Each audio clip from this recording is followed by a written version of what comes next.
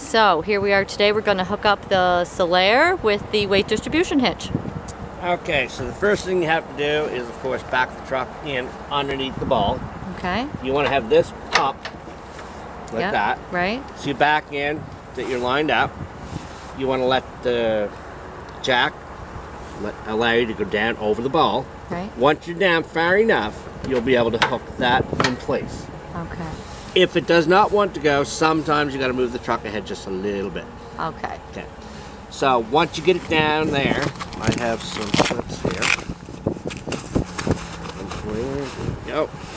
So you got a clip you want to put through there. Safety clip. Right. Leave that there for now. Okay. So after you're down on the ball, Yeah. okay, with this vehicle and this trailer, there's no need to do anything except put the weight completely on the truck. Okay. Okay, so now I will retract this jack.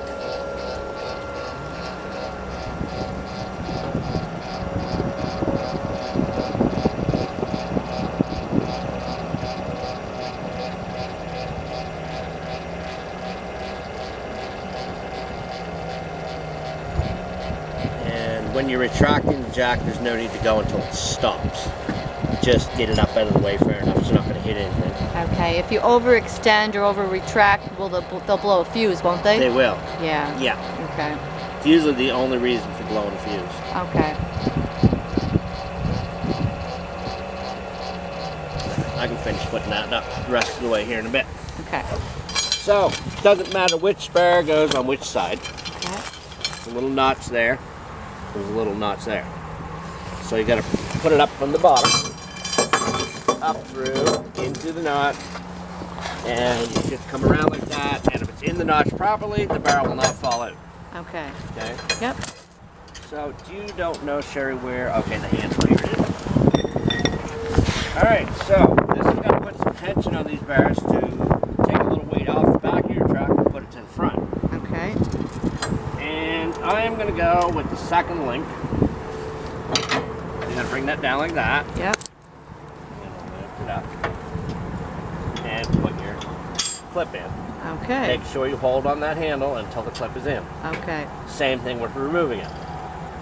Put the bar in, remove the clip, Right. keep your hand on the bar, and let it down. Okay. Okay? That's that side. Okay.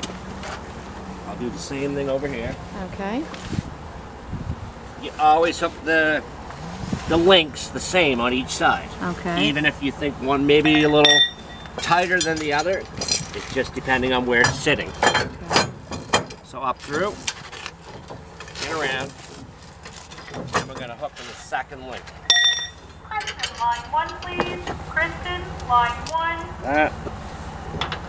Get a bar, and up.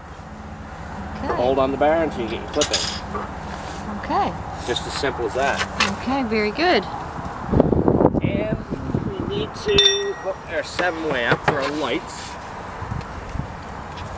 That goes in there. Make sure it's in the whole way. Okay. And our safety chains, they do require being crossed. And if you look up here, you'll see where they're they're kind of together, but you can still cross them. Okay.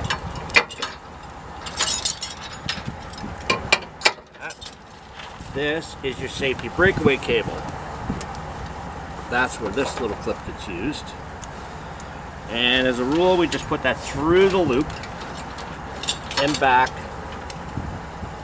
to itself, like so, because that you do not want to loose or too tight, because Okay. you don't want it pulling in. Okay. And as long as it's not dragging, it's fine. Okay. Perfect. And that sums up that part of her. Okay. I'm just going to back up a little bit so they can see how the how it should be sitting. Yep. And I'll retract this. Okay. And as far as the bars go, you can set that on different links. Okay. It's there's no, you know, Bible to that. But I feel it's good where we have it. Okay. Thank you. No problem.